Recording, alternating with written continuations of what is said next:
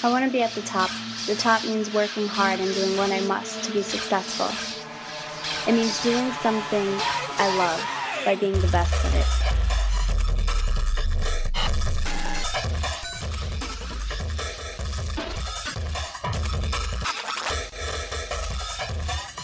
But in reality, it's, reality, it's a little thing The definition of success is the accomplishment of an aim or purpose, the attainment of popularity or profit.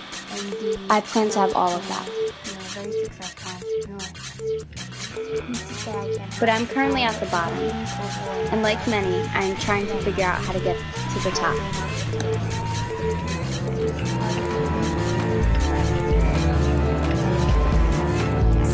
I'm doing it alone, and I only have myself to rely on. I never want to be in this predicament again, figuring out where I'm going to be, where my food source is coming from. Sometimes the odds seem so much against you that you want to give up, but you can't. You cannot give up. You have to keep having faith in your cause and your belief in whatever you're doing and realize that you will be there. You just have to keep believing and staying. It's hard to do. Sometimes I want to quit. I want to quit so badly. But I know that if I quit, I'm that less closer to my goal. It's. So stay positive, stay real. It's hard to focus and remember where I plan to be at the end of the day, but I have no doubt I will get there.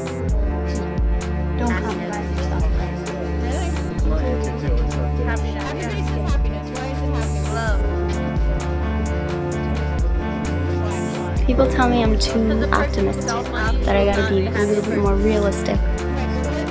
And I don't agree with that at all. I think staying positive, as long as you're being real with yourself, does wonders.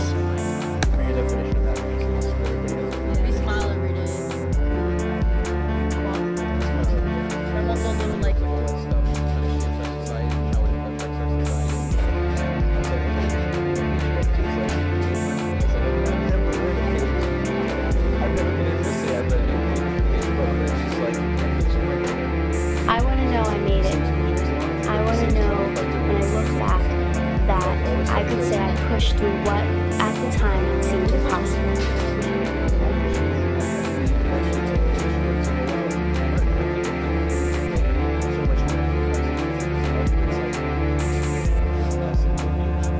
I want to know that I'm secure and that my family does not have to worry about anything